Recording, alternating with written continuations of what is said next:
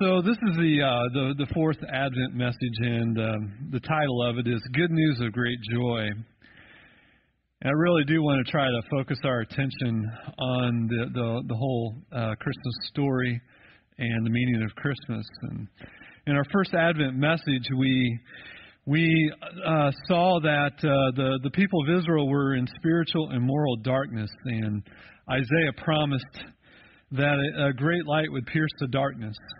In, in Malachi, we, we saw that after the exile. So, so think about it. God told them that He was going to judge Israel, and then they were going to come back to the promised land. And then the prophets started saying, "Look, when you come back, there's going to be these tremendous blessings." And and in Malachi, which is almost a hundred years after the return of Israel into the promised land, uh, these promises have not been fulfilled. They're they're languishing, and and the the people are saying um, you know, where's this promise? Is God going to keep his promises? And it just seemed like there was these unfulfilled promises from God. And then last week we were encouraged by the, the greatness of God through that beautiful song of Mary, weren't we?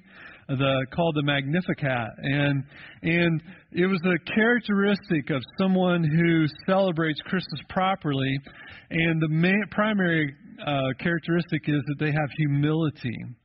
And humility, we learned, is thinking properly of ourselves. And the only way for us to think properly of ourselves is to think of who we are in light of who God is. Isn't that true? I mean, He's great, and, and, and we're not. And He's holy, and we're not. And all these sort of things. But the greatest picture of humility, and one that we can use to celebrate Christmas properly, is to see the God of the heavens in a manger. Have you ever thought about that? Uh, you know, there's that song, "Mary, Did You Know?" and it goes into all the the the the, the questions and the awe and the wonderment of of here's this mother with this uh, baby boy in her arms, and and God in the manger should shatter us of all of our arrogance. Uh, in the passage that we're going to see today, we're going to see God in His holiness. In fact, this whole section of Scripture, uh, lowliness, is the most prominent feature of this passage. Uh, some, lowliness is something that accompanied the shepherds through their entire lives. And if you look at the very first verse that was read today, verse number 8, Luke 2 8 says, And in the same region there were shepherds out in the field keeping watch over their flocks by night. Now, what region are we talking about? Well, if you back up to verse number four, we learn that it's the region around Bethlehem. And Bethlehem is, is really close to Jerusalem. As a matter of fact, if you stand on the Mount of Olives, which is across from the, the Temple Mount, you can see Bethlehem from the Mount of Olives. And you can see uh, parts of Jerusalem, the outskirts of Jerusalem from Bethlehem. It's, it's that close. It's only about six miles or so from Jerusalem. And so they're in the, the region of, of Bethlehem. And I want you to notice something about the announcement. The very first pronouncement, not the prediction, but the very first pronouncement of the ver- birth of the Messiah was to shepherds. Shepherds. In our, in our classless society, we have a hard time grasping this. But if you've spent any time studying history or studying other cultures, you realize that the most of the cultures in the world have distinct classes. In India, they have the caste system, and you you never rise out of your caste. In England, it used to be that you could uh, you could be in a class, and it didn't matter your how much education you had or how much money you had. You never moved out of that class, even though you know, your circumstances may have changed. So we have a hard time, and plus we don't have an honor shame society. As a matter of fact, in our society, there really is no shame, is there? Uh, there's not much shame in anything other than maybe believing in God and, and having and morals in our society, but we won't go there. But the shepherds, the shepherds were outsiders. They were they were outcasts in society. And this, it is to this group that the angels first appeared. And it says, The glory of the Lord shone around them, and they were filled with great fear. Now, if you come uh, Tuesday night, I'm going to read these verses out of the King James. You remember what it says in the King James? The glory of the Lord shone round about them, and they were what? Sore afraid, right? Um, but they were filled with great fear. Why were they filled with fear? Well, I think we can safely assume that this whole scene in itself was frightening. You're you're a shepherd there. There's no night lights. Uh, there was no lights of the town or the city. It's a completely dark landscape. Uh, probably, most likely, it was starry that night. Who knows? And and all of a sudden, uh, this pitch black countryside is pierced with the darkness is pierced with the glory of God in all its splendor. And and it's we can't even comprehend it. Do you know that one of the primary descriptions of, of what God looks like, if I can use that, that little phrase, is light? That's one of the primary descriptions of God. God is light, and in Him is no darkness at all. Um, the Bible says that He dwells in unapproachable light. And every time in Scripture man experiences the brightness of the glory of God, he falls down in fear. And so the shepherds were afraid because of the, the this natural uh, phenomena that they're seeing of, of seeing God in light. But Furthermore, when you go into the life of Jesus in Matthew 17, you see when Jesus was transfigured, and it says, and he was transfigured before them, and his face shone as the sun, and his clothes became white as light. Can you imagine that? Can you imagine what it is going to be like one day to see the transfigured Son of God? In, in inapproachable light. If you remember, Moses communed with God on Mount Sinai, and when he came down, that that uh, glory of the Lord was on his face, and the Bible says that he covered his face with a veil because the people were afraid when they saw how his face shone by the glory of God. And so God, God is, is primarily, one of the primary descriptions of him is light. Think about the conversion of Paul in Damascus, on the road to Damascus, and suddenly a light from heaven shone around him and falling to the ground. The, when Jesus appeared to Paul, Saul at that time, it, it didn't say, there was no physical description of Jesus. Look at what it says. This is all it says. Suddenly a light and so the glory of the Lord is this light like you've never seen before. But I think the second reason that they fell down in fear, they were the shepherds were afraid, is because that's a natural response to seeing the glory of God in comparison to the human condition. In in Isaiah chapter six, Isaiah saw the Lord in the temple, and here's his response. His response isn't his response isn't, "Oh, this is awesome, dude," or whatever you want to say. He didn't. He didn't say, "Hey, everybody, come here." Rather, his response was, "Woe is me, for I am lost." I'm a man of unclean lips, and I dwell in the midst of people of an unclean lips. And why did he say that? There's a for in that verse. And the for is this. He says, For my eyes have seen the King, the Lord of hosts.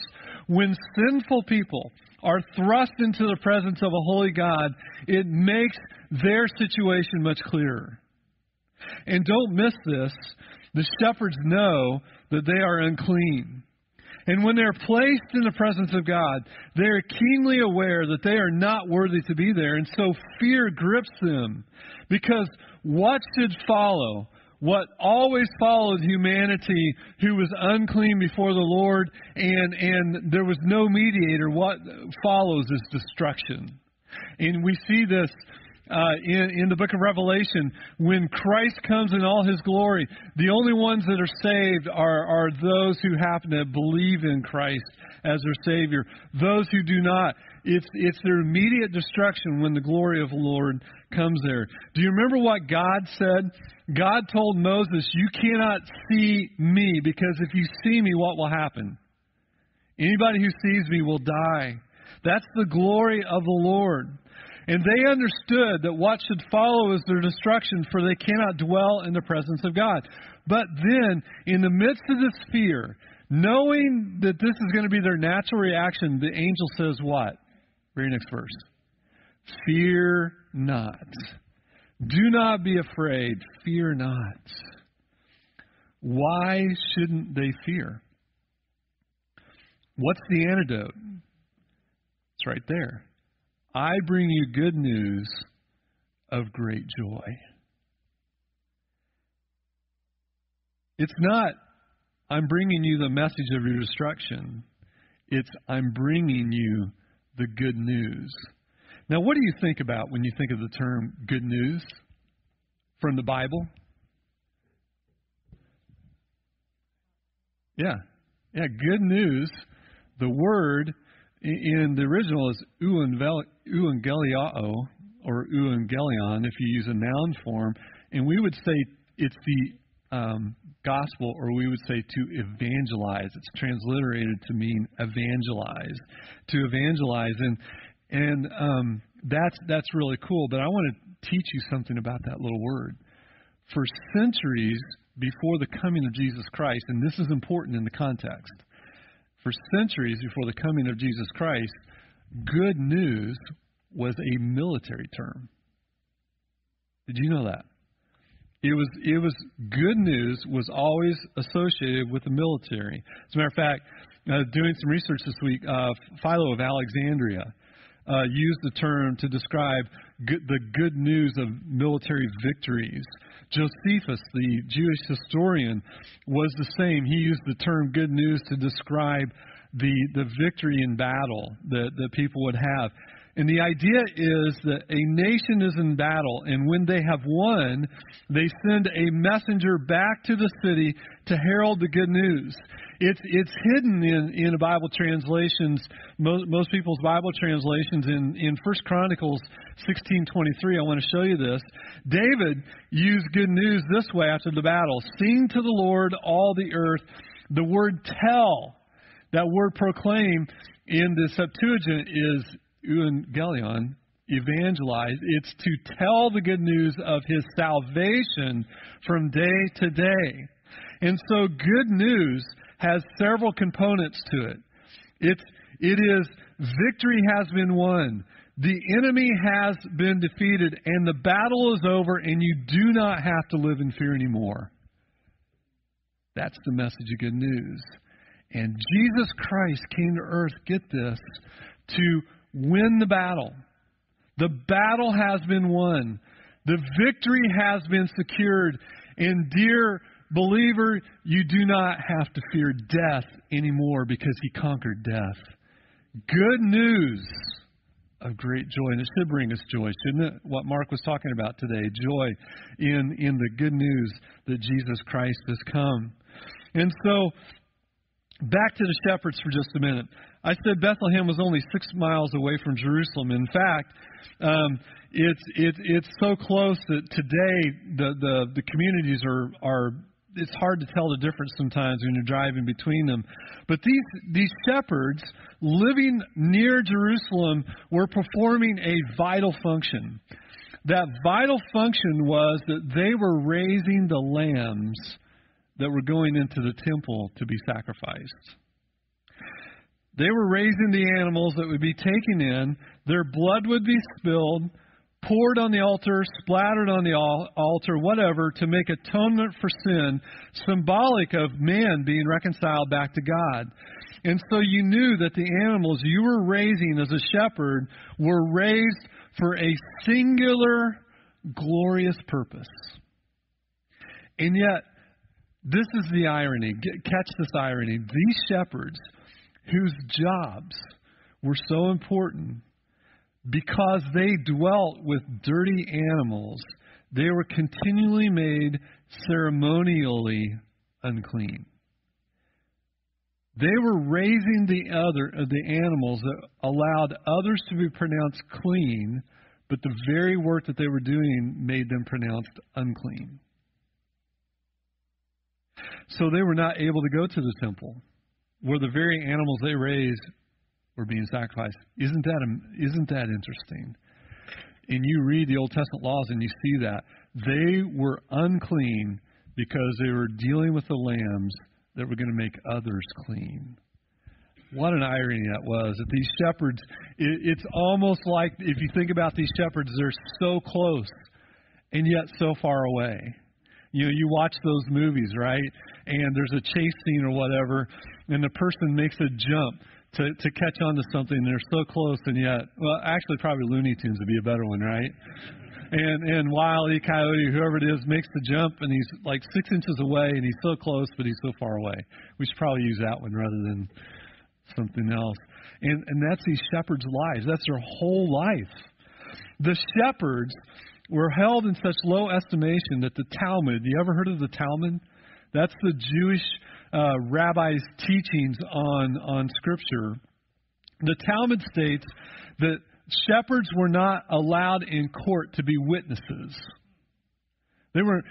It didn't matter if you were the most honest shepherd in the world, if you had the most integrity, because you were a shepherd, no matter how honest, how upright and just you were, you were not allowed to testify in court. That's a slap in the face, isn't it? The Talmud also says that in general, shepherds were dishonest and unclean. They were outcasts. They were on the outside looking in. But praise be to God, not this night. Not this night. They were, on this night, they were the first recipients of the good news that a greater shepherd has come. Now you had to wonder what they were thinking, right? When they were the, that they were the first recipients of the greatest news in human history. That um, that they were just these lowly shepherds. Well, verse number 12 says this. Look at this verse, and this will be a sign for you. You will find a baby wrapped in swaddling clothes and lying in a manger. This is this is so familiar to us that we overlook the significance. We we understand what it, what we what swaddling is. We swaddle babies so that they feel more comfortable and, and warm and safe. Um, and, and we understand that completely. Swaddling babies is a natural thing to do. Now, um, there is this really interesting internet myth, and to be honest with you, uh, it would really preach well if if it were true. And you may have heard this myth. If if I'm going to blow your myth, I'm sorry. There's this thing that goes through the internet right now, and I've that pastors have even talked about that says that shepherds used to swaddle the lambs so that they would not get blemishes on them, so that they could go to the temple and they could um, be clean and, and unblemished when they go to the temple. And so the, the idea is that um, Jesus, the perfect sacrificial lamb, was swaddled and laid in a manger, just like these little lambs were swaddled and laid in mangers. And, and it's a really cool picture, except that you can't find it in anywhere older than the internet itself. So, literally, there are no historical, there's nothing in history that says that. How, how many's ever heard that story? I knew a few of you had to. Hopefully, I didn't bust your bust your myth. But um, that's not the true meaning of why there's this baby in a manger. By the way, you know what a manger looks like? Are they wood? No, they're not. That's a manger. So uh, that manger is in Megiddo, and that is a manger that there are many mangers in in here. If you know your Old Testament history, Solomon built a fortress in Megiddo, and this is in Solomon's stables. They had 600 horses, and they had these mangers lined up there. And that's in central Israel in, in Megiddo. That's what a manger looks like. They're out, made out of stone. Now, the significance, and I don't want you to miss this because this is what's important.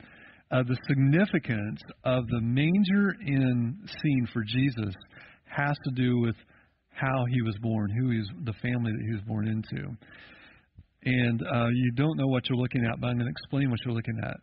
Jesus was born into a peasant's home. There are literally pictures uh, from, and I'm talking about from the 19th and early 20th centuries, all through the the Middle East, of peasants' homes. And a peasant home is one room, and this is it. This is the whole thing. And the, the living area was here in the peasant's home. And uh, what they would do is they would bring their animals in at night, donkeys and, and that sort of thing. And they had mangers, stone mangers, sometimes hewn right into the floor of their house. And then this is where the animals would be. And this area was anywhere from two to maybe four feet lower than the living area. And so when Jesus was laid in a manger, he was laid in the family area of the house in an area where people would not naturally be. It was a hewn manger, most likely hewn right into the floor of the house. And there are uh, archaeologists have, have hundreds and hundreds of pictures of this very scene. Jesus was born into a peasant's home, a one-room peasant's home. Now, I know what you're saying, yeah, but they had hotels, they had an inn. You know what the inn was? Uh, there's there's some debate about this, but most scholarly opinion says that a, a an inn, the word trans- that's translated in, is a guest house, and so you would have this one room house, and you might have something connecting somewhere, and it was like a guest house, and there was a, no room in the guest house, and so Jesus' family stayed in the main peasant's home with the family, and um, and he was laid in a manger. It's a simple domestic uh, situation here. As a matter of fact, knowing this will help you understand some of the gospel. Did you know that? Let me show you one.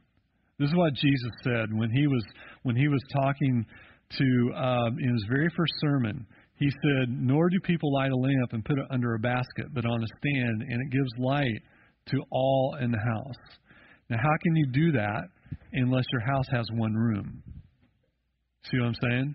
Jesus was speaking to peasants when he gave the Sermon on the Mount.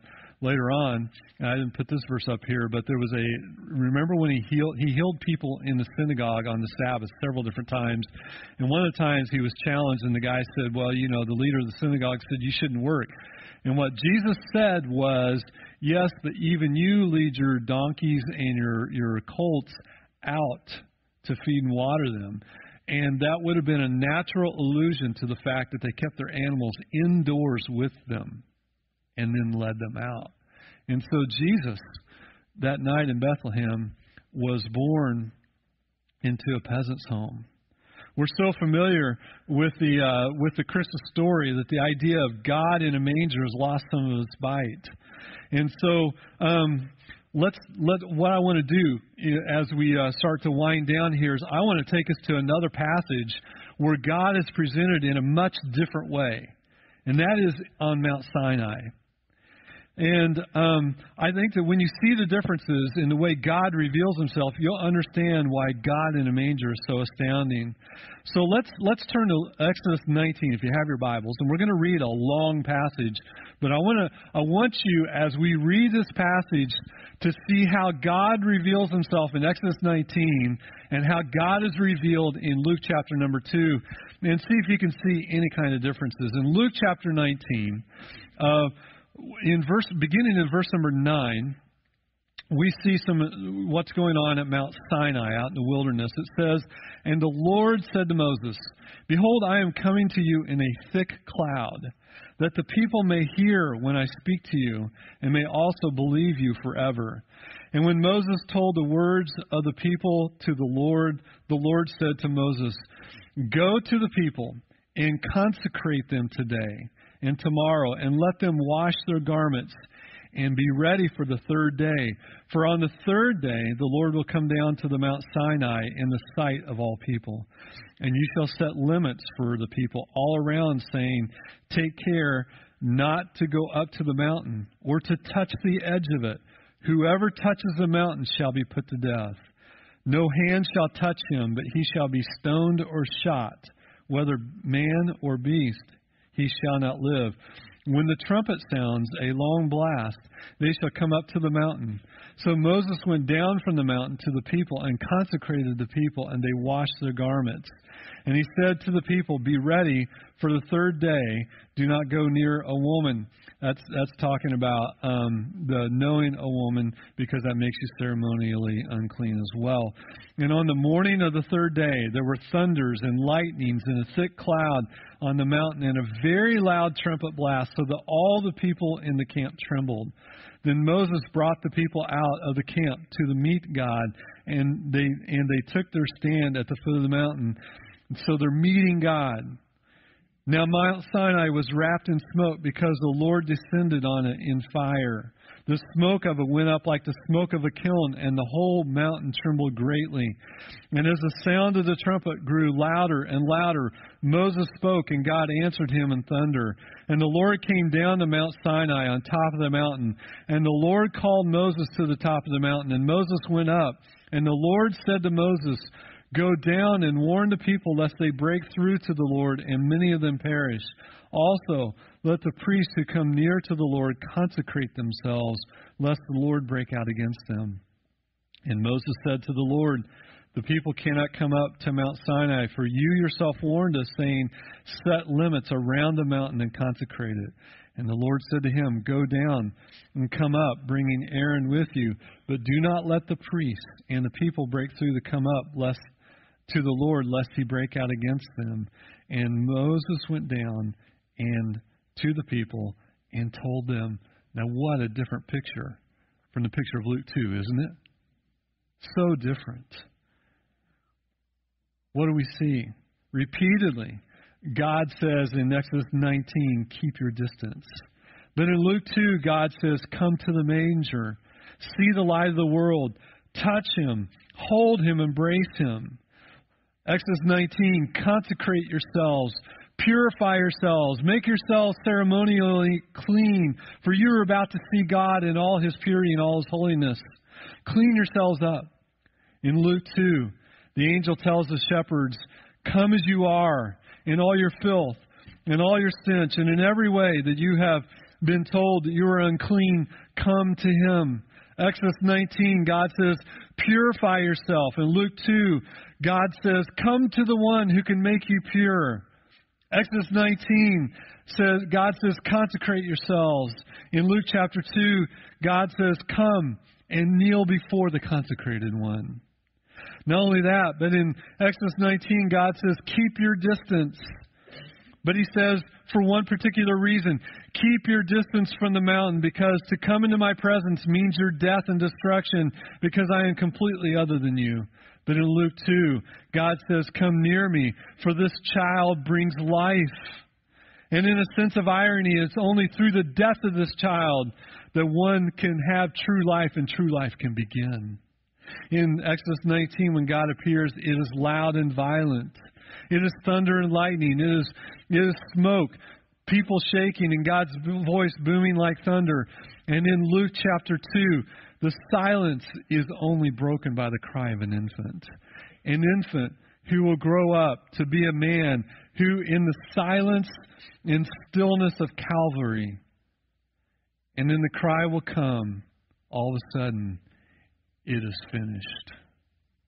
What a difference those two passages of Scripture make, don't they? Thank God for God in the manger good news of great joy.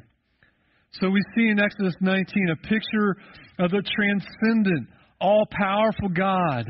In Luke 2, we see a picture of immanence, or that's, that's a word that means nearness. That God has come to earth and He says, Come, come to the manger. Come, kneel beside this infant child who says, Fear not, this is good news. You know, there's something about infants that disarm us, doesn't it? Don't they? I, I have uh, my infant granddaughter coming in a few days. I can't wait to hold her. Her favorite grandpa is going to be holding her. she doesn't know that now. But there's just something about an infant, isn't it? I remember uh, when my uh, youngest son was born, I was in seminary and, and working a lot. I could guarantee myself a great nap when he was napping, I was holding him. You ever done that? Of course you have. Because infants just completely disarm you. And the fact, think about this, don't miss this. The fact that God would come in such a way that he could be taken up into the arms and held to ultimately bring innocence and purity to our lives, ultimate hope. This brings us to the final message in verse number 14, which says this Peace among those with whom he is pleased. Now, that implies that God is not pleased with everyone. So that begs the question then how do you obtain the pleasures of God? How do you obtain the pleasures of the Lord? How do you get this peace that the angel talks about? Is by repentance and faith. Faith in Christ alone, his death and burial and resurrection. But when you hear the word peace, you have to think about it biblically. For in our day, peace is very shallow. We understand it uh, very shallow in our understanding. It's the absence of conflict, it's the absence of noise. Uh, it, that, that was a very peaceful place.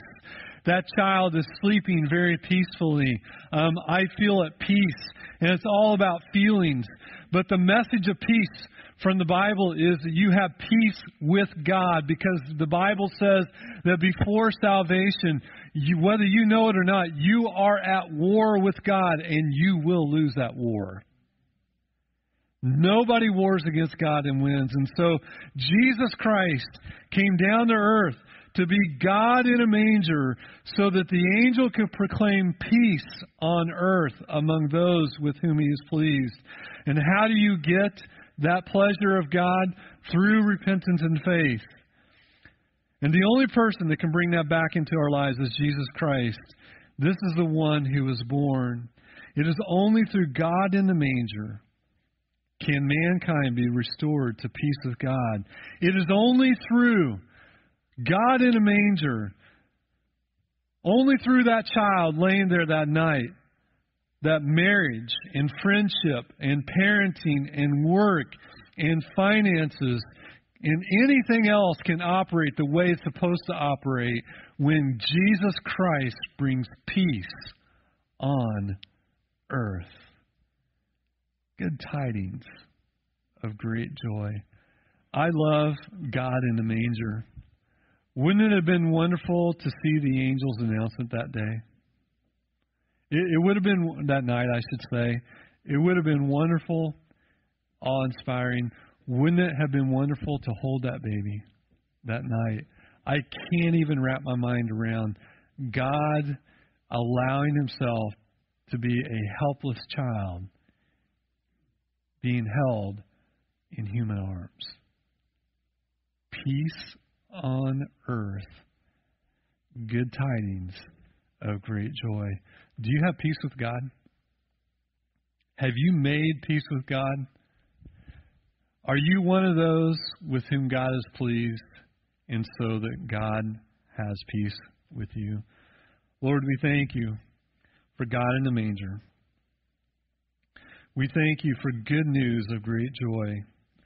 The Christmas story the recounting of the birth of Jesus Christ is such a marvelous and, and wonderful message that we can have peace with God because God condescended to be born and laid in a manger and then condescended to be crucified like a common criminal. Help us to never lose that wonder, that awe, that amazement at what you have done. Lord, I know that there are people here who have not made peace with you, who have not repented of their sins, think the same thing that you do about their sin. They have not exercised faith in, in Jesus' finished work on the cross, his resurrection. Lord, I pray that you will give them that peace through their faith and repentance so they can experience the good news of great joy. In Christ's name, amen. Amen. Amen. Amen. Amen. Amen. Amen.